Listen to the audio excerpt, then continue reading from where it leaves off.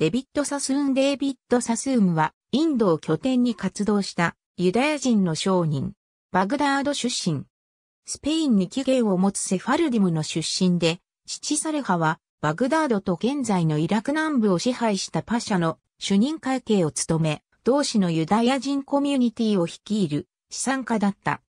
その後、ダウード・パシャによるユダヤ人迫害を逃れて、ペルシャを経て、一家でボンベイに移住し、1832年にサスーン商会を設立、イギリスの東洋貿易に多大な貢献をした。特にアヘン戦争のきっかけとなった当時のアヘン貿易において重要な位置を占めていた。その後は香港、上海にも営業所を構える。さらに南北戦争によりアメリカ産綿花の輸出が途絶えたのを機にインド産綿花の輸出も成功させた。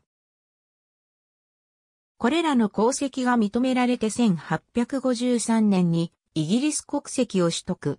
また、デイビッドはボンベイでユダヤ人コミュニティを率いるとともに、ドーチやプーナ、故郷のバグダッドなどに病院やシナゴーグ、学校を建設するなど、慈善活動も行った。ボンベイでは、英語での教育を施す英英高等学校や、サスーン病院を設置した。デイビッド自身は、生涯英語を話せず、バグダード時代からのアラブ風の生活様式で生涯を過ごしたが、息子のアブドゥッラーにはイギリス人としての教育を施した。